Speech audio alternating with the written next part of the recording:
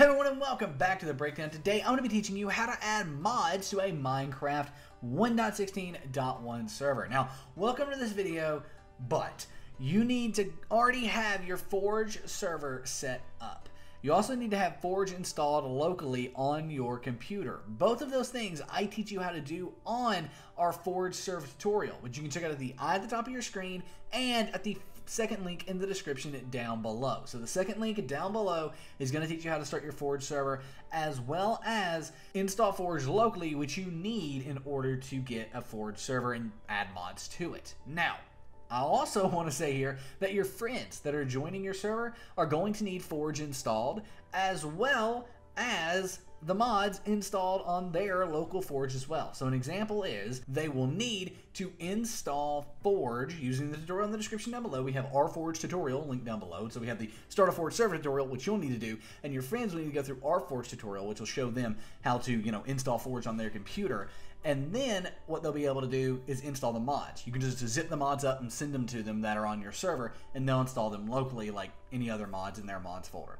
So that's gonna. That, I wanted to get that out of the way because that's something that a lot of people, you know, they they come to a video and they want to install mods, but there's a lot of prep work you got to get to get to the point of actually adding the mods to the server. This is basically part two of our series of getting a modded server set up. Part one was setting the server up. Part two is adding mods to the server.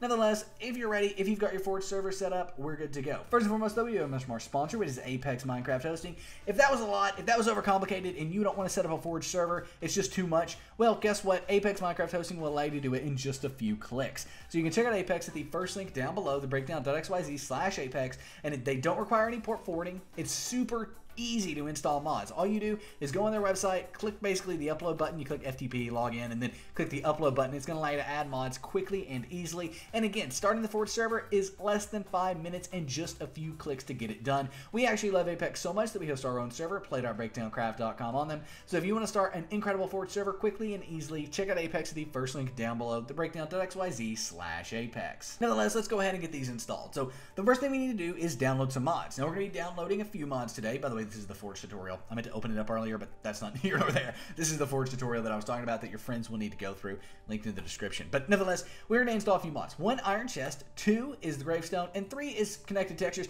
Connected Textures technically doesn't work on servers unless there's something for it to use, like a texture pack, but we're still going to install it today just to prove that you can.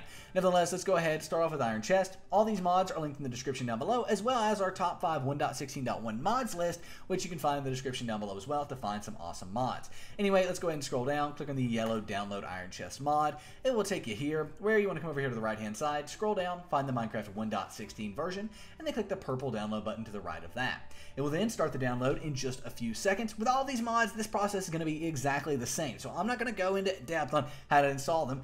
Go to the right hand side, find 1.16, yada yada, and then you'll need to keep them on the bottom left. That's important. So for Iron Chest here, you do need to keep it. On Mozilla Firefox, it'll pop up in the center of your screen where you'll need to save the mod. So we've done that with Iron Chest. Guess what? Gravestones, link in the description, takes you here. And then once you're here, click on the yellow download gravestones. What this does is it's going to actually add in gravestones. So when a player dies, whether it's you, whether it's your friend, whatever, when that player dies, they will have a gravestone placed and they can go back there and get their stuff. They'll also get a obituary, which will have like their death location as well as their death items. For example, it's kind of cool if someone dies to take these and like spread them around the server, people find them and can basically go on a treasure hunt. So cool stuff. But nevertheless, we're going to download this one. Again, right-hand side, 1.16. Purple download button takes us off where we'll need to save slash keep the file, depending on whether you're on Mozilla Firefox or Google Chrome. So, boom, it's going to download in the bottom left where we need to keep it. One more time, we're going to do this with connected textures. Right-hand side, click that. We're done. I'm, I'm not going to go too in depth on this one, everybody. I will save you the, the, the, the trouble of hearing me say something for a third time. but let's just go ahead and click keep there. And now we minimize our browser here on my desktop. I do have Iron Chest, Gravestones, and the Connected Textures mod. Um, I'm going to drag them over here just for ease of use. Boom, boom. Now, one thing I do have is this unconfirmed folder. You won't have that, but I'm going to drag it out of the way. Nevertheless, if these aren't on your desktop, by the way, they're going to be in your downloads folder. So click the little Windows icons in the top left of my screen, bottom left of your screen, that little Windows icon. Type in downloads, click on downloads there, and you'll find them all three in here. Drag them to your desktop just for ease of use. Now, to install these on your server, it's actually pretty easy.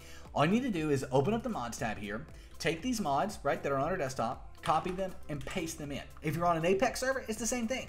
Just log in via their website, go to the mods folder, and upload your mods into that mods folder. It's that simple and it's that easy. However, you also need to install the mods locally. To do this, we want to go ahead and open up the Minecraft launcher.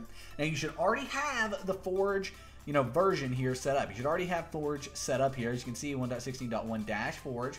So you should already have that set up and then click play.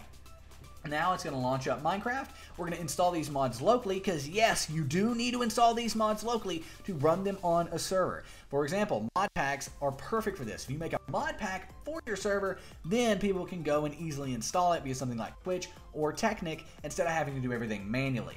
But if it's just you and like three friends, that's worth it. Just send them the mods and you'll be good. But nevertheless, go ahead. This, this is very, very small. I'm going to launch up. I need to make this bigger so you all can see it. But nevertheless, once this gets launched up here, we'll be able to install these mods locally. Boom. Let's make this, there we go. Now you all can see what's going on. Once you're here, you want to click on this mods tab. Once you click on that, click on open mods folder in the bottom left. That'll open up your local mods folder here. This is different from the one on your server. And then you want to take all of these from your desktop and drag them, drop them into that mods folder. Now we need to restart Minecraft, so let's go ahead and do that. Open up the Minecraft launcher and restart Minecraft Forge. I'm actually going to change the resolution on this just so we can see better. Pretty simple there. Bam. All right, now we can go ahead and click play with Forge. And we want to double check that we have our mods in our mods folder, which we do. And we can double click on the run.bat file to launch up Minecraft our Minecraft server, excuse me, our Forge server with the mods installed. So anyway, I'm to go ahead and do a quick jump cut, let the server start up, let Minecraft start up, and I will see you so we can join and prove that all the mods are working and that we're all good. So one thing I do want to mention is if that you get any like these warnings or you see error or something like that during startup, a lot of times nothing happened.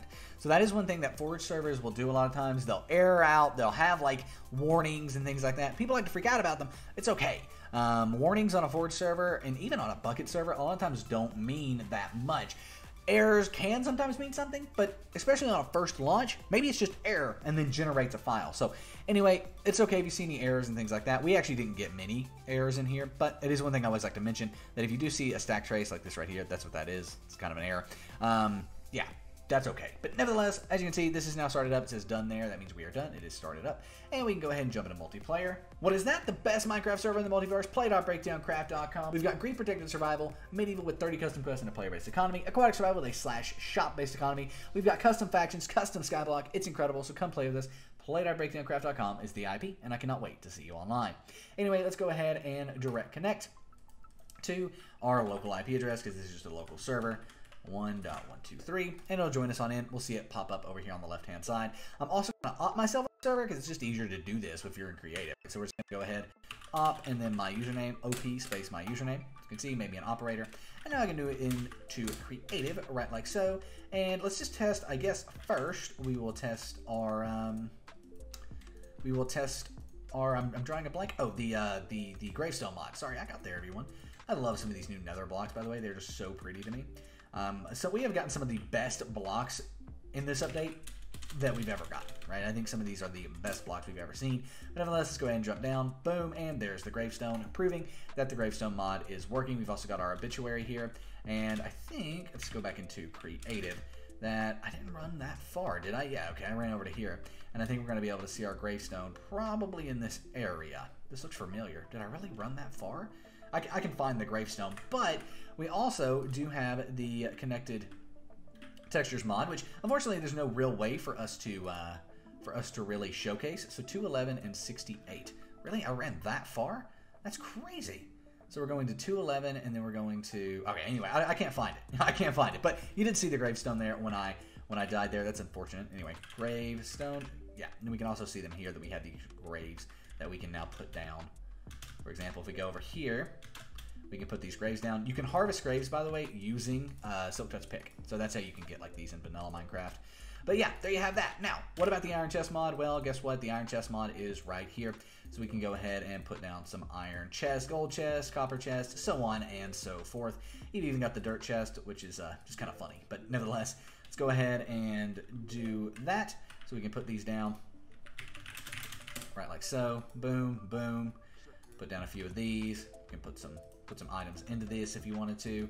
You can see, all these chests are different sizes depending on what they are. The iron being one of the smaller ones, I think copper being the smallest actually, working its way up, gold, diamond, crystal, obsidian, all that stuff.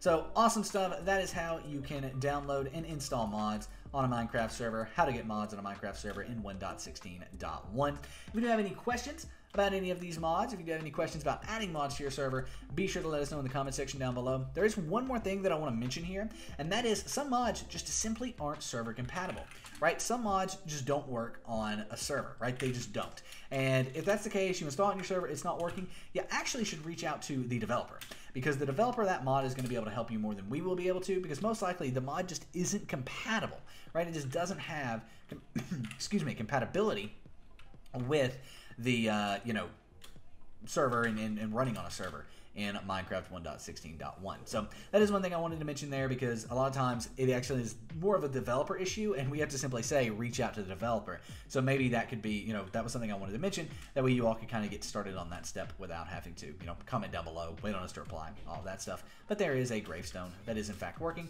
And we go into survival and break this, we will be able to see all of our stuff comes right like that. So there you all have it. If you have any questions, let us know in the comment section down below. Thank you all so, so much for watching. My name is Nick, and I am out. Peace.